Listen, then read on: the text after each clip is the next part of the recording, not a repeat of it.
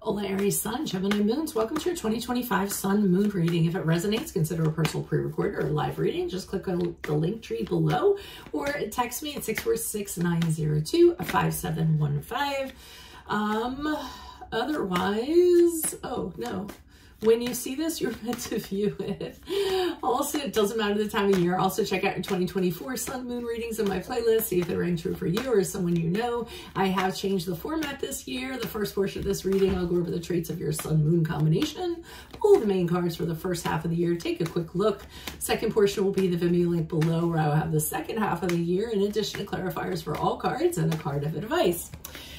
Aries Sun, Gemini Moons, you have boundless energy and are always on the move. Open to new ideas, an excellent problem solver, and a charming communicator. There's no door that won't open for you when it comes to opportunities. You're expressive and demonstrative, which enables you to keep people engaged. You don't always keep your uh, impulsivity in check, but have a knack for getting yourself out of hot water with your quick thinking. In love, flexibility is the name of the game. Any partner that is too rigid and planned will bore you to tears. You need a partner that wakes up ready for whatever adventure comes your way. You will end a relationship swiftly if the sparks stop flying. You typically don't like to get into the feels and feel awkward if your mate gets overly emotional.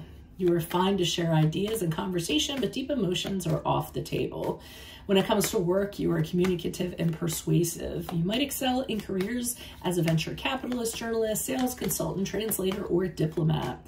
Selling is your strong point. You can convince anyone into buying anything because of your charm, high energy, and drive. It's hard for people to tell you no. You also may find yourself in positions of leadership because people have such strong faith in you. So, Holy Spirit, angels, divine guides, universe, can you please spread your truth, your wisdom, your clarity, and your insight for Aries, Sun, Gemini, Moons for the year year 2025. What do you see? What do they need to know to reach your higher ground, become closer to the universe and closer to divine? January and February, we have the Lover's card in the reverse, which is the card of Gemini, your moon. Um, in my playlist, I mean, sorry, look me up on Facebook, Instagram, TikTok, like, share, subscribe, donate, or refer me to a friend. Would be greatly appreciated. March and April, we have the Five of Cups in the reverse. And then what do we have for, what do we have for May and June? Back on your feet. All right, so January, oh, also, I already said that. Never mind. I'm out of my mind half the time. Okay.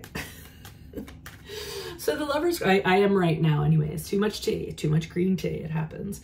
Lover's card in the upright. January and February. To me, the feeling, the sense that I'm get, well, it's pretty obvious for those of you that know tarot. Obviously, you have you have a romantic connection, a personal connection, a partnership with somebody, and it has gone awry.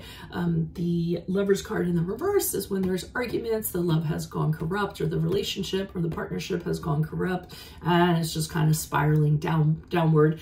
And there's really no way to kind of fix it, to be honest. Um, the lover's card in reverse also can be a situation where maybe you got into something out of the desire um, or, you know, greed or ego or for whatever reason. And then you're immediate and you're having regret saying, oh, I really shouldn't have done this. This is not working out. This is not my highest good to be in this connection. So um, this typically is a relationship that is coming to an end uh, with a lot of conflict going on within it because harmony is no longer there.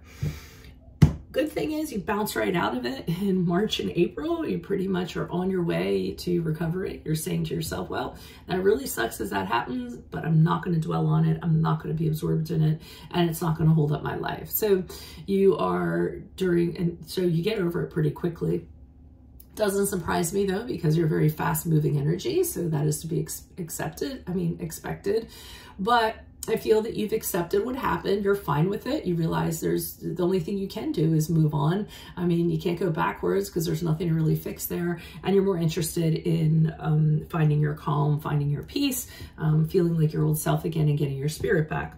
And that you absolutely do because in May and June, I see you stepping into your old skin as the Queen of Wands in the upright, very vivacious, very determined, very inspiring, very courageous, very charming, very passionate, very romantic. What else? Very, um, uh, uh, uh, uh, uh, likes to, um, you know, run into adversity, jump into challenges and get things done. So that's 100% you going on there and being back to your old self. So it's good to see that you bounce back pretty, pretty well.